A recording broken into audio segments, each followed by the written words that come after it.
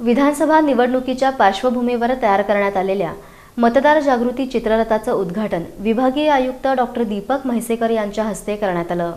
सोमवारी पुण्यातील विभागीय आयुक्त कार्यालयाच्या प्रांगणात मतदार जागृती चित्ररथाला डॉक्टर दीपक म्हैसेकर यांनी हिरवा झेंडा दाखवून उद्घाटन केलं. यावेळी जिल्हाधिकारी नवल किशोर राम रिजनल आउटरीचे ब्युरो संचालक संतोष अजमेरा यांची प्रमुख उपस्थिती होती.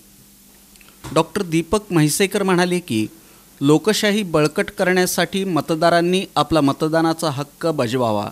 निवडणुकीत मतदानाची टक्केवारी वाढवण्यासाठी प्रशासनाच्या वतीनं विशेष प्रयत्न करण्यात येत आहेत.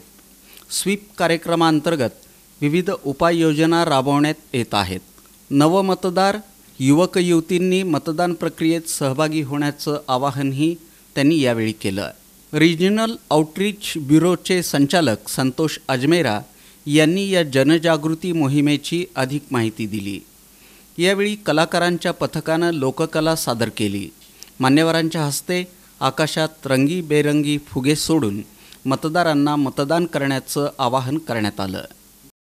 पुणे जिल्ह्यात विधानसभेच्या निवडणुकीत मतदानाच्या टक्केवारी वाढवण्यासाठी वेगवेगळी मोहीम आपण हाती घेत आहोत. इलेक्शन कमिशन ऑफ इंडियाच्या स्वीप ॲक्टिव्हिटी तहत. आता आपल्यासमोर एक चित्ररथ आहे ज्याच्यामध्ये इलेक्शन कमिशन ऑफ इंडियाचे सगळे महत्त्वाचे साहित्य आहे लोकांना वोटिंगसाठी प्रवृत्त करण्यासाठी लोकांना संदेश देण्यासाठी आमचा रथ जे आहे सर्व ठिकाणी जात आहे. आपल्या जिल्ह्यामध्ये ज्या ज्या ठिकाणी टर्नआउट कमी आहे असे सर्व काही जे लोकेशन्स आहे त्याला कव्हर करण्यासाठी आपला हा प्रोग्राम सुरू आहे.